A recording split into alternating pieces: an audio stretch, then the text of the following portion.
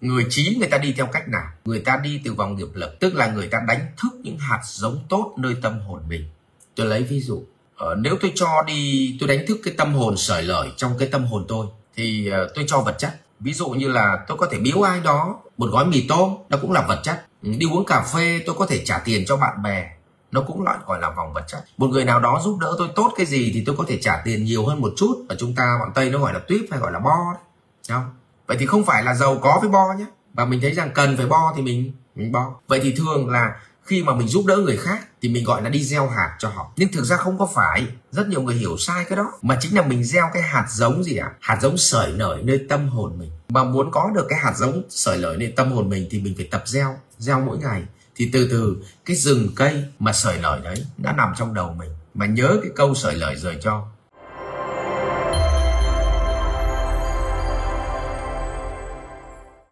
Hồ Đăng Quang có đặt câu hỏi Em chào thầy và mọi người ạ à. Thầy cho em hỏi tuổi trẻ nên tập trung phát triển điều gì cho bản thân để có sự phát triển đúng đắn và thành công ạ à? à, Tôi vẫn chia sẻ thế này à, Thực ra người phàm phu mà chúng ta hay bước đi trên đường đời á là chúng ta đi theo cái thói quen bản ngã như thế này đầu tiên đói là phải huân tập vật chất có đúng không ạ Ờ, phải đi làm phải tiết kiệm mua được nhà mua được xe. À, rồi à, phải có tiền dắt lưng. À, thì bắt đầu nó mới qua được vòng vật chất. Xong đến cái vòng thứ hai là có chút vật chất rồi mới lên được cái vòng sĩ diện cảm xúc. Sĩ diện chán rồi thì mới quay vào là ăn sạch uống sạch để giữ sinh mạng tập thể dục yoga. Ừ. rồi xong sinh mạng thì bắt đầu với gì ạ? Nghĩ đến chuyện đi học tập để tìm hiểu về những cái thứ mà nó nằm ngoài sự hiểu biết của mình, ngoài cái nghề nghiệp của mình. Bắt đầu hiểu về vũ trụ hơn, hiểu về quy luật của loài người, hiểu về phật nghĩ gì, thánh nghĩ gì, chúa nghĩ gì. Rồi bắt đầu xong được cái vòng trí tuệ thì mới lên được nghiệp lực đi giúp đỡ người khác. Thì đấy là là cách mà đi của người phàm phu nhưng mà đi như vậy thì thông thường là mất khoảng 10.000 năm. Nhưng mà chúng ta chỉ sống được có 6 70 năm thôi, cho nên là có khi là chầy chợt là 60 năm còn chưa qua được vòng vật chất cơ. Thì cụ đã đai rồi. Và đai là cụ chết treo trên vòng gì? Vòng vật chất, chết treo vào cái tường rào. Đấy. nhưng người trí người ta đi theo cách nào? Người ta đi từ vòng nghiệp lực. Tức là người ta đánh thức những hạt giống tốt nơi tâm hồn mình. Tôi lấy ví dụ ờ, nếu tôi cho đi tôi đánh thức cái tâm hồn sởi lời trong cái tâm hồn tôi. Ừ. Thì ờ, tôi cho vật chất. Ví dụ như là tôi có thể biếu ai đó một gói mì tôm nó cũng là vật chất. Ừ, đi uống cà phê tôi có thể trả tiền cho bạn bè nó cũng loại gọi là vòng vật chất. Một người nào đó giúp đỡ tôi tốt cái gì thì tôi có thể trả tiền nhiều hơn một chút. Ở chúng ta bọn tây nó gọi là tuyếp hay gọi là bo đấy. Không? Vậy thì không phải là giàu có với bo nhé. Và mình thấy rằng cần phải bo thì mình mình bo. Vậy thì thường là khi mà mình giúp đỡ người khác, thì mình gọi là đi gieo hạt cho họ. Nhưng thực ra không có phải, rất nhiều người hiểu sai cái đó. Mà chính là mình gieo cái hạt giống gì ạ? À? hạt giống sởi nở nơi tâm hồn mình. Mà muốn có được cái hạt giống sởi nở nơi tâm hồn mình thì mình phải tập gieo gieo mỗi ngày. Thì từ từ, cái rừng cây mà sởi lời đấy đã nằm trong đầu mình. Mà nhớ cái câu sởi lời rời cho. Thứ hai, là gặp mỗi người mình đều cố gắng vui vẻ.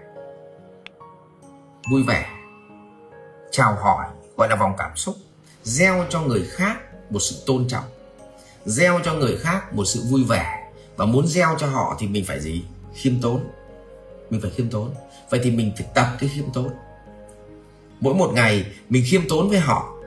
Không phải là mình gieo cho họ đâu nhé, mà mình gieo được cái gì à? hạt giống khiêm tốn nơi tâm hồn mình.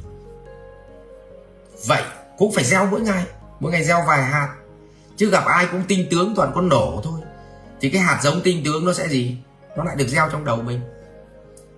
Vậy thì cái hành xử của mình thế nào với người khác chính là mình gieo được cái hạt giống nơi tâm hồn mình, tức là đánh thức những hạt giống tốt nơi tâm hồn mình vậy cho mỗi người một ít vật chất là đánh thức cái phần gì ạ? Tính sở lợi của mình lên.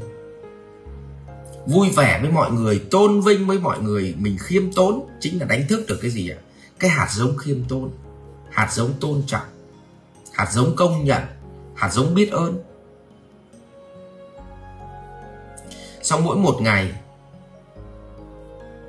mình gieo cho người khác một thói quen tốt để có tốt sức khỏe, mình chia sẻ với họ thì đấy chính là mình đánh thức được cái gì ạ? Chính là cái hạt giống sức khỏe của mình nên đấy. Ví dụ tôi không có lý do gì tôi dạy bạn cách giảm béo mà tôi lại béo như ỉn được. Đấy. Thì tự nhiên vì tôi dạy bạn rồi cho nên tôi phải có trách nhiệm làm cho thân thể tôi không có béo.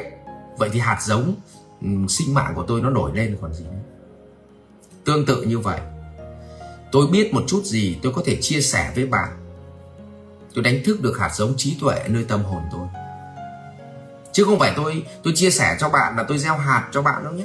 Tôi gieo hạt chính nơi tâm hồn tôi. Xong rồi, nghiệp lực. Tôi biết đi thì giúp đỡ người khác chính là đánh thức cái tâm hồn thực tế trong con người tôi. Như vậy, việc đầu tiên của người trí chính là tự gieo hạt cho chính mình để đánh thức tâm hồn mình lên những cái hạt giống tốt nơi tâm hồn mình. Và cha mẹ cũng vậy. Cho con tập gieo hạt chính là mình đã đánh thức những hạt giống tốt nhất nơi tâm hồn con mình lên và khi những hạt giống tốt nhất nơi tâm hồn được thức, đó chính là lúc mà con người hiểu hết được những người xung quanh. Mà khi chúng ta hiểu hết những người xung quanh, biết họ thích gì, biết họ ghét gì biết họ yêu quý cái gì, biết đâu là đền thờ linh hồn của họ không được đụng vào, biết đâu là thứ có thể bàn. Thì đấy chính là lúc trí tuệ nó gì? Sinh khởi.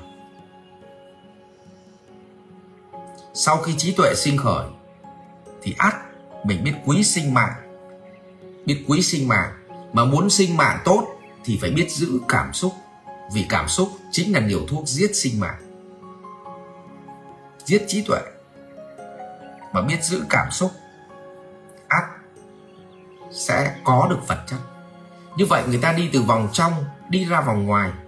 Đầu tiên người ta đánh thức những hạt giống nghiệp lực nơi họ bằng cách trao đi những giá trị. Xong vòng trí tuệ nó sẽ nổi lên. Rồi gì à? Đến vòng sinh mạng, rồi ắt sẽ kiểm soát được cảm xúc, rồi ra được vòng vật chất. Cho đấy là lý do mà con người chúng ta đi học suốt từ lớp 1 đến lớp 12 học vòng trí tuệ đấy chứ. Xong rồi là là trẻ con bên tây, thậm chí người ta phải cho đi tập làm từ thiện, đi lên những cái vùng núi cao ờ, rồi là phải tập hỏi, tập chào. Cho nên với trong cái trường học của chúng ta ghi là gì ạ? Tiên học lễ, hậu học văn. Đầu tiên tập trao đi để gieo cái hạt giống nơi tâm hồn mình. Nó thức dậy. Tiên học lễ, hậu học văn thế còn đức phật dạy là gì ạ? Phải giữ giới trước giữ giới trước giữ giới là gì ạ? Biết tôn trọng người khác, biết thực hiện những thứ làm cho người khác hạnh phúc, biết cho đi. Đấy là những thứ đánh thức hạt giống nơi tâm hồn mình, chính là vòng nghiệp lực. Ắt trí tuệ sinh khởi. Trí tuệ sinh khởi ắt gì ạ? Phải biết giữ sinh mạng, phải biết giữ cảm xúc. Mà như vậy ắt vật chất không thể phiền hà đến cuộc đời ta cho nên đối với hồ quang đăng hồ đăng quang à, thì tuổi trẻ hay là tuổi già hay là trẻ con đi chăng nữa thì bắt đầu từ cái việc mà gì? Biết sởi lời với người khác hơn một chút. Đừng so đo thiệt hơn vòng vật chất. Biết kiểm soát cảm xúc của mình để làm cho người khác vui vẻ hơn một chút tức là ban tặng cảm xúc cho người khác chính là đánh thức cái hạt giống khiêm tốn và biết ơn nơi tâm hồn mình.